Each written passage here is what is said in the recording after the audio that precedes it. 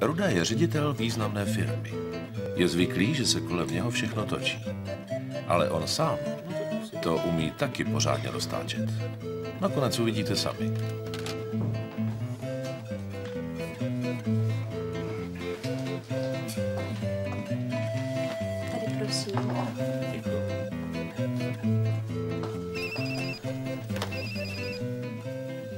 Ano? Ahoj, miláčku. No to víš, mám hodně práce. Musím si připravit materiály na tu služební cestu. Kdyby se ten kontrakt nepodepsal, tak by to byl malér.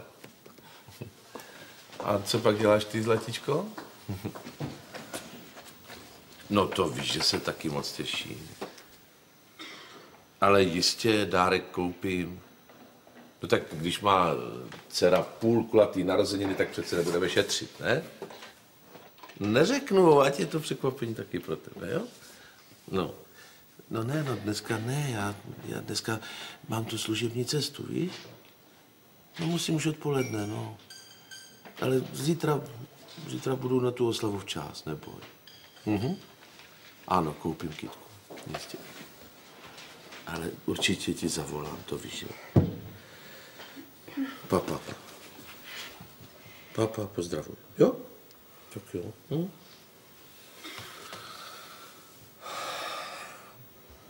Co je ono? Já jsem vám tady přinesla k podpisu pár smlouviček. A taky jsem vám pro vzpruhu udělala kafíčko.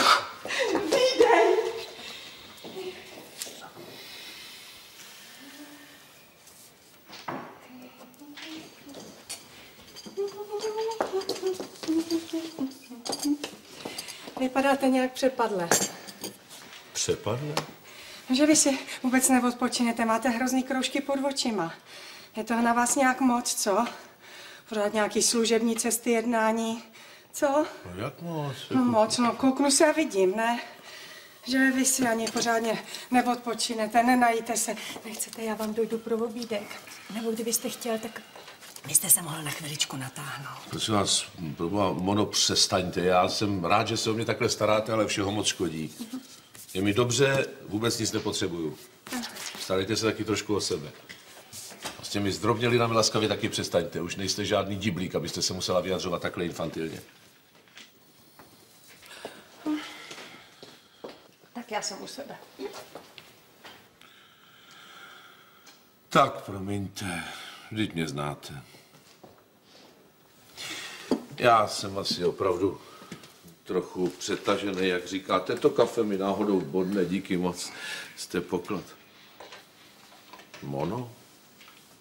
Vy tak krásně voníte, že vy máte zase nový parfém, co? No to mám. Vanilku. Ta podporuje pozitivní energii a optimismus. Pane, jo. Moničko, přece jenom eh, jednu prozbu bych měl, kdybyste byla tak laskavá, potřeboval bych dárek k narozeninám. Ona dcera slaví 25. Mm. A co by to jako mělo být? No, teď eh, mě zrovna nic konkrétního nenapadá. Měl by to být originální dárek. Potom. No ale s tím vy si poradíte, že jo? Eh, Jo, a nějakou pěknou kitku. Vy jste na to talent. No to víte, že spolehněte se, zítra to máte na stole.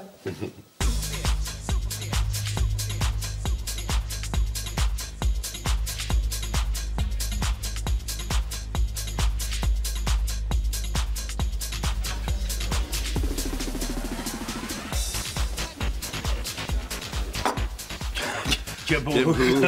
Ahoj. Ahoj. Jednou vizora. Napiš mi to. Tak na co ses vymluvil tentokrát? Na služební cestu to je nejistější. Nehrozí riziko, že ti z domova budou telefonovat, protože vědí, že jedeš dlouho autem a pak sebou mrskneš unavený do postele v hotelu. Tak co? Máš tady nějakou vyhlídnutou? Ale prosím tě, tady to je... Stačí natáhnout. Jož. Pardon, promiňte. Omlouvám se, omlouvám se, promiňte. Koukám, že to tady máš v maličku. Jsem celý já. Tak ahoj. Ahoj. Hele, tamhle tu s těma dvěma blbínkama jsem tady ještě neviděl. Teda to je kusanec, co? Co říkáš? jo, na to. Aby ses mi tady nezamiloval. Člověče, začíná se mi tady líbit. Já jsem ti ukazoval. Zase zůstanu sám.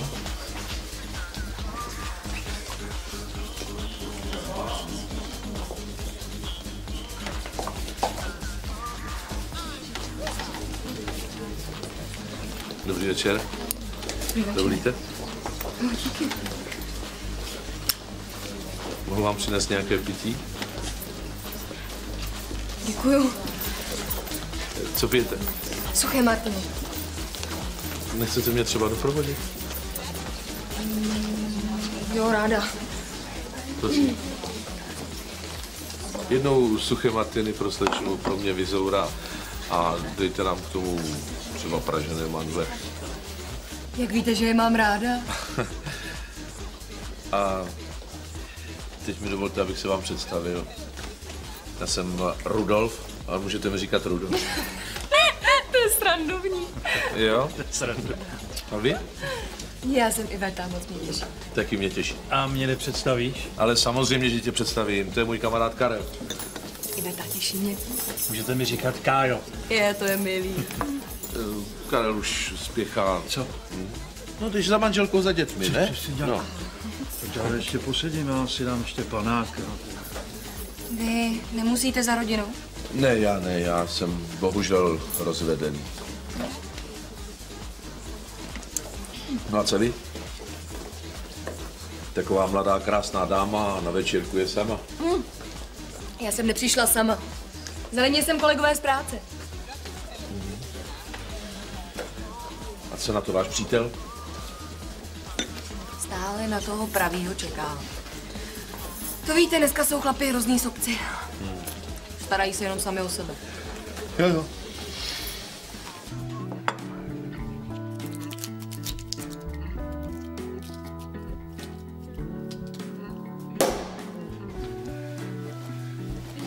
No, byl to takový otravný ožrala, obtěžoval všechny v tramvaji, tak uh, jsem si počkal, víš, vzal jsem ho a uh, až se otevřely dveře, tak jsem ho vyhodil. Ježišmarja, promiň, já jsem tě polil. Ježiš, to To, nevadí. počte mi, počte mi něco na. Dovolíš? Dobrý. Ne, já to utřu. Rudo, skoro to vypadá, že si mě poloschvál. no počkej, co na to ty spolucestující? Na co? No toho ožralu. No tleskali, no. Byli rádi, že jsem je zbavil toho pobudy a já jsem pak na další zastávce vystoupil. Já bych se válela smíchy, kdybych je viděla, jak se Nic, Karle, spinkej, spinkej. ještě ožral. Koukám, že to končí, ten večírek. Já jsem se s tebou tak zakycala, že jsem si ani neuvědomila, že kolegové už odešli. No a co, děje se něco? No ne, že mi slíbili, že mě vezmou domů. Já samozřejmě počítám s tím, že tě odvezu taxíkem. Tak já ti něco přidám. No blázníš, chceš mě urazit? Ale nej- nejprve musíme odvést tady Karla. Pane Vrchní, prosím vás, buďte tak laskav, zaplatím a e, zavolejte mi dva taxíky, jo? Jsi vážně moc milý. Dovolíš? Tady ještě taková malíčko.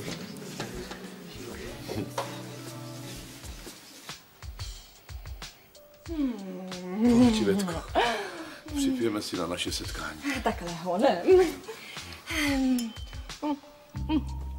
To mi připomíná, když jsme byli s kamarádkou v Řecku.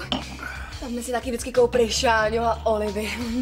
No, odpoledne, když jsme přišli z pláže, tak jsme se vždycky osprchovali, namazali krém a mleli si na postel, poslouchali super muziku a popíjeli šampus.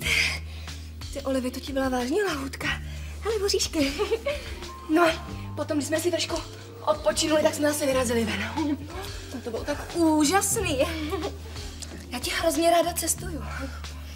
Já vím, že spolu projedeme celý svět. Když ty už se vlastně skoro všude byl. Nebude ti vadit, že půjdeme ještě jednou. Všechno mi ukážeš. Ty znáš tolik věcí. Jak jsem vyprávěl o tom Mexiku. To bylo úžasný. No a stejně je to náhoda, že jsme se my dva vlastně potkali, viď? To není náhoda. To je osud. Hmm, ale stejně jsem ráda, že jsem potkala takového skvělého chlapa. Hm. Který je pozorný. Drží slovo a jenom nekecá. Je gentleman. A ještě ke všemu je milej. To je fakt bomba.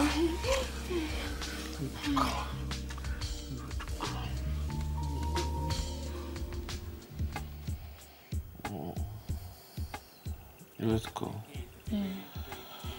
Nemám ti něco přinést? Nemáš žízeň nebo něco k snědku, co?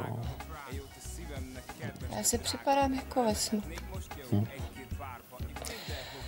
Ne, díky, já si chci jenom takhle ležet a užívat si tě. Jsem prostě v šoku. Jo. Ty hlavičko moje krásná. No vážně. Nikdy bych nevěřila a prosím tě, neuraž se. Že si budu s chlapem v tvých letech takhle rozumět. Prosím tě, mlč, nebo se začnu červenat. Většinou jsou to jenom takový sobci, to si chtějí jenom užít a kašlou na své rodiny. Ty víš, co příbor snáší? Lhání, neupřímnost a sobeckost. Víš, že sebe někdo dělá někoho, kým není. Což naštěstí není tvůj případ. Nejhorší jsou takový ty typy, co se vymlouvají manželkám na to, že odjíždějí na služební cestu. A potom vyrážejí na lov. Ty snad někoho takového znáš? Jo. Zná? Ten je tak trapný, že se manželce vymlouvá na to, že má hodně práce. Místo toho, aby jí vzal třeba na večery nebo tak. Třeba je opravdu zaneprázdněný. Třeba to není takový sobec, jak si myslíš. Ale je. Vaněček sobec je. Kdo? Vaněček. To není schopný ani svůj vlastní dceří vybrat dárek narozeninám. A místo toho pošle svoji asistentku. To je jediná ho totiž prožívá. Vaněček, blbeček. Šéfe?